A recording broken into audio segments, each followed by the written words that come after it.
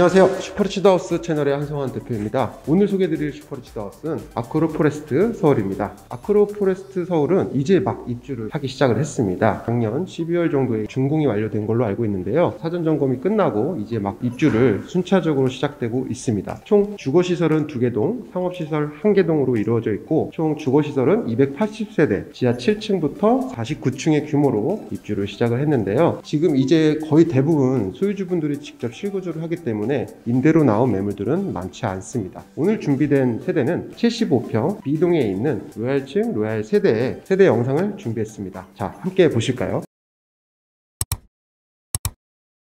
출입 현관부터 안내 도와드리도록 하겠습니다. 일단 오른쪽 편에는 master bedroom으로 바로 출입하실 수 있는 동선이 있어요. 이따가 다시 살펴드리도록 하고 이쪽은 이제 팬트리 수납 공간인데요. 신발장이 마련이 되어 있습니다. 높은 천정고 높이만큼 수납 공간이 빼곡하게 되어 있는 모습을 볼 수 있고요.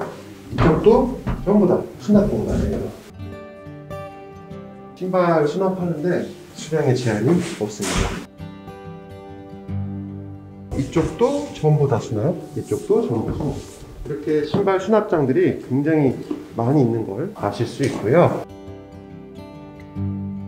출입 현관에 지나서 메인 복도를 따라가다 보시면 이렇게 이제 중문이 슬라이딩 포켓 방식으로 설치가 되어 있어요. 이 fix창 유리도 유리로 설치되어 있는 모습을 확인하실 수 있고요. 첫 번째 출입 현관과 가까이 있는 bedroom인데요.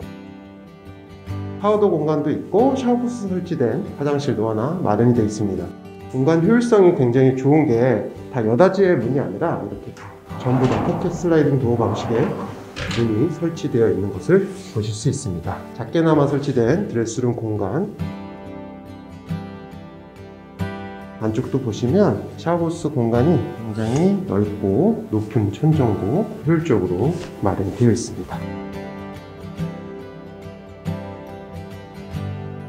독특한 부분이 방 공간의 이제 구조가 딱 정사각형의 네모난 구조가 아니라 약간 틀어져 있죠.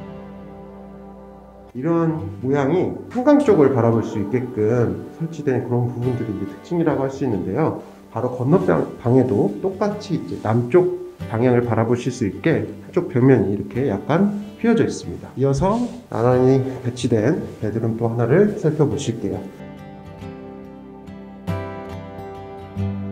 이쪽 방은 그냥 방 하나만 딱 설치되어 있는 공간인데요. 마찬가지로 굉장히 멋있죠. 앞에 이제 서울숲 앞쪽에 이제 트리마제가 보이고요. 더 멀리 이제 시그니엘 레지던스가 왼쪽 편 동쪽으로 바라보이고 있는데요. 앞쪽에 이제 성수동 재개발 지역이라서 추후에 공원화가 된다고 해요. 미래 가치가 굉장히 좋고 앞으로 시간이 지나면 지날수록 이 주변 여건이 더 좋아진다고 합니다. 이어서 이제 주방 쪽 동선을 살펴볼 텐데요. 따라오시겠습니까?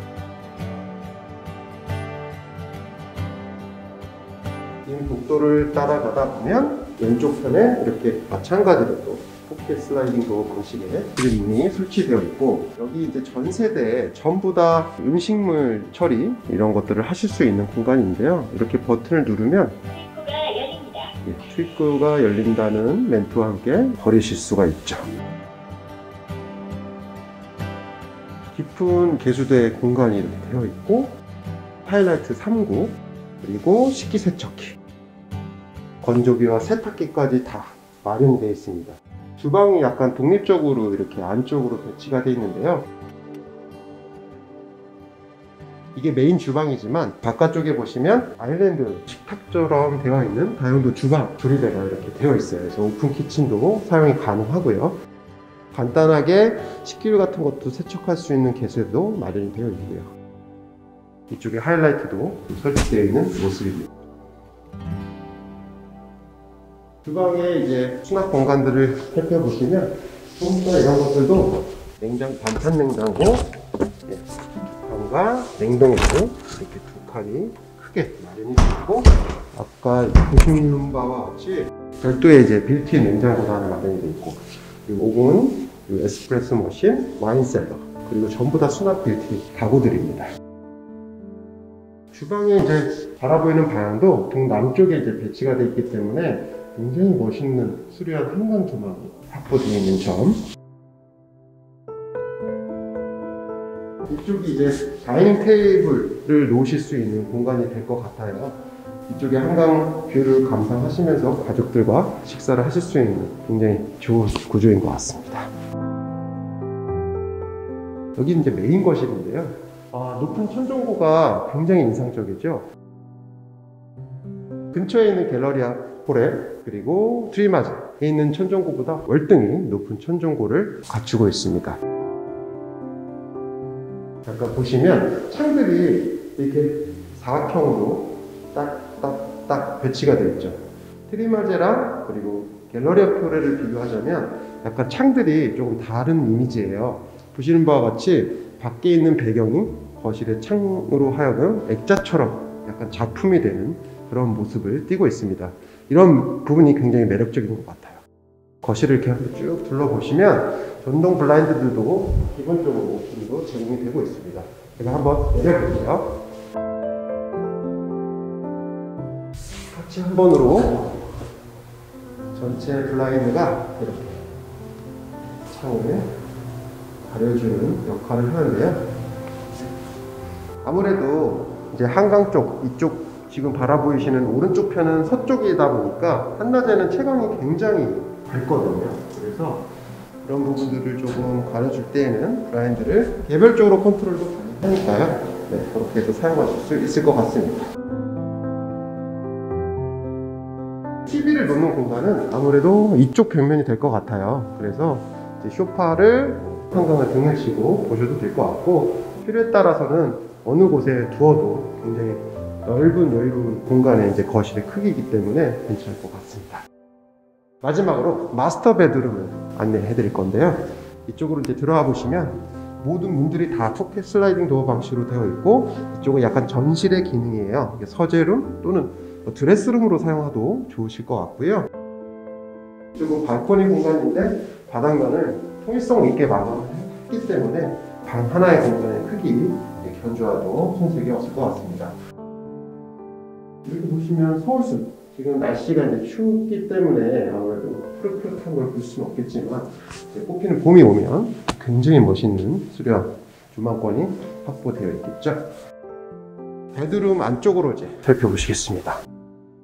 main master bedroom 공간인데요. 마찬가지로 이쪽도 반대편 출입구 입구에서 보셨던 sub bedroom처럼 창들이 다 이쪽으로 바라보고 있어요. 그런 부분들이 이제 숲과 한강, 더 멀리 이제 산들, 강들 이런 것들을 조금 볼 수 있게끔 이게 만약에 면이 그냥 일반적인 면이었으면 갤러리아 포레가 보였을 거예요. 그러면 아무래도 시선 간섭도 있을 거고요. 구조가 굉장히 매우 독특한 구조를 띠고 있습니다. 이제 main master bedroom 깊숙한 안쪽에는 부부 욕실과 드레스룸 공간이 구성이 되어 있는데요. 먼저 부부 욕실부터 살펴보시도록 하겠습니다. 개수대도 이렇게 두 개가 마련이 되어 있기 때문에 편리하고요. 화장실, 샤워부스 공간이 이렇게 각각 독립된 샤워부스 형태로 구성이 되어 있습니다. 에그용 욕조가 앞쪽에 이제 서울숲을 좀 바라보면서 프라이빗하게 목욕을 좀 즐길 수 있게끔 굉장히 매력적인 공간으로 욕실을 구성하고 있는데요. 천정고도 굉장히 높고 층층 유리로 되어 있기 때문에 정말 아늑한 목욕을 즐길 수 있을 것 같습니다. 드레스룸으로 이동해서요. 샤워도 공간입니다. 샤워도 공간은 수납 공간, 안쪽 깊숙한 곳까지 짜임새 있게 수납 효율을 주었고요. 오른쪽으로 보시면 깊이감이 있는 드레스룸 공간이 충분히 확보되어 있습니다. 아무래도 이 정도의 공간이 일반적인 고급빌라처럼 수납 공간이 뭐 작진 않지만 아마 부족하실 수도 있을 거예요. 그럴 때는 아까 main bedroom 옆에 그 전실 공간의 드레스룸을 좀 더 확장해서 사용하시는 편도 좋을 것 같아요.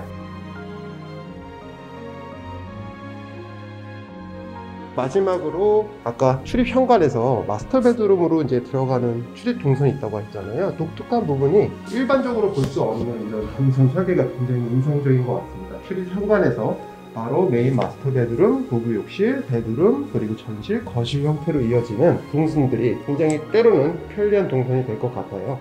현재까지 아크로 포레스트 서울이었습니다. 75평 B동에 있는 로얄 세대 세대 영상이었는데요. 어떠셨나요? 로얄층에서 바라본 한강 조망권과 전혀 국내에서 볼 수 없었던 새로운 타입 세대가 아니었나 생각하는 슈퍼리치 더 하우스였습니다. 요즘에 코로나 때문에 굉장히 많이 힘들고 새해도 이제 밝았는데요. 여러분들 모두 건강에 유의하시고 또 다른 슈퍼리치 더 하우스와 소식으로 여러분들 다시 찾아뵙도록 하겠습니다. 감사합니다.